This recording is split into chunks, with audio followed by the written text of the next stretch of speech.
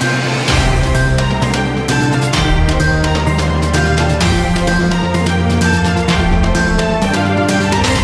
पुरुषोत्तम मास के चलते आज अमावस्या के पावन पर्व पर सारंगपुर कपिलेश्वर तीर्थ धाम पर उमड़ा भक्तों का सैलाब। शुक्रवार की सुबह पाँच बजे से शहरी व नगरी क्षेत्रों के भक्तों ने माँ काली सिंध नदी में आस्था और विश्वास की डुबकी लगाकर धर्म लाभ लिया।